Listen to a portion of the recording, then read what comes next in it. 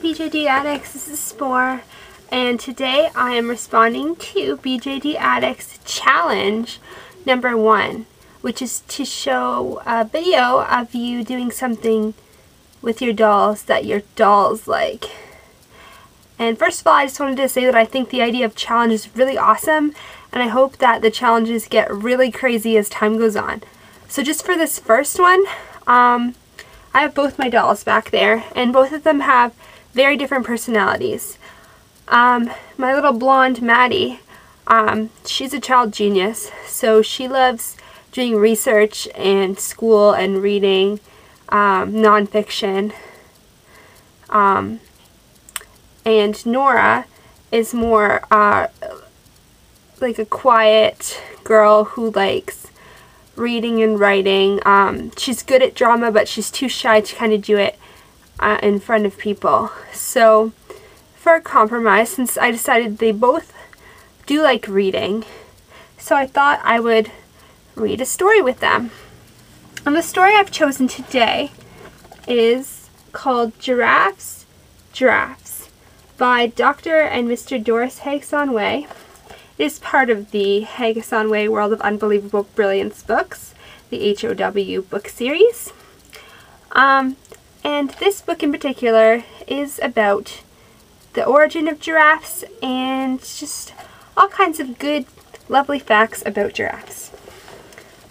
So I'm going to start reading to my girls about the origin of giraffes. So here we go. Giraffes first came to this planet nearly 500,000 years ago, on a conveyor belt. No one is sure where the conveyor belt came from, because the pieces of the conveyor belt recovered by, for scientific study in 1973 in Middleton, New Jersey, are being hidden from the authors, Dr. and Mr. Haggis-on-Whey, by governmental stooges. The authors, however, know that this conveyor existed because they have a very good hunch about it. The conveyor is believed by the authors, one of whom is a trained scientist, to have originated in, on Neptune. This is the opinion of the authors because most scientists believe Neptune, because of its unique gaseous makeup and its green color, is the most likely planet to be inhabited by giraffes who build conveyors. Now, here's a very nice graphic image of giraffes coming down to the earth on conveyors, along with some charts. What's that, Maddie?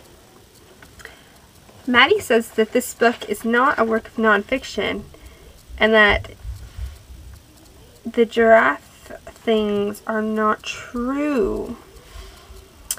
So I'm going to go on to the next page and maybe she'll change her opinion. What are giraffes made of? Giraffes' necks are actually made out of paper mache, which accounts for the drastically different lengths and sizes. Has anyone ever told you you have a giraffe's tail and you wondered what that meant? The explanation will amuse you. Inside the tail of every giraffe is a highly sophisticated clock that lets him or her know the exact time. Now, next time you wake up early without an alarm and your mother says, You have a giraffe's tail, you can thank her, knowing that she's complimenting you on your internal clock. The legs of giraffes are filled with various types of fruit juice.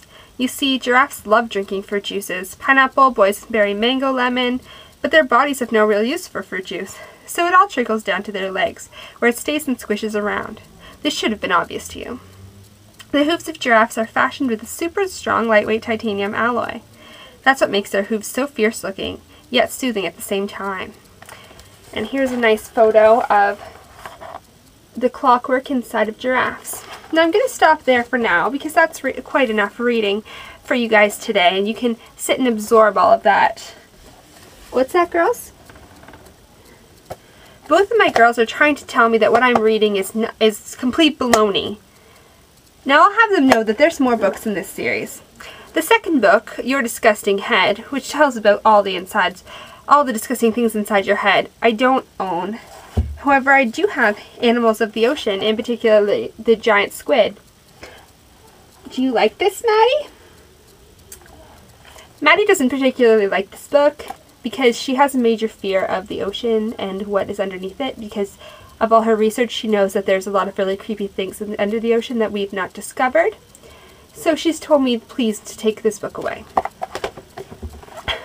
I also have this book on cold fusion, which is quite exciting I'm sure.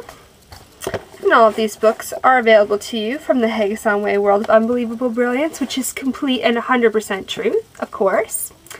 Wouldn't have it any other way. So I'm going to stop there, I guess. Um, I hope that you enjoyed this challenge and you enjoyed the books as much as my girls did, I think. Yeah. I look forward to the next challenge where I do something that's even more ridiculous than reading crazy books about giraffes. Yeah!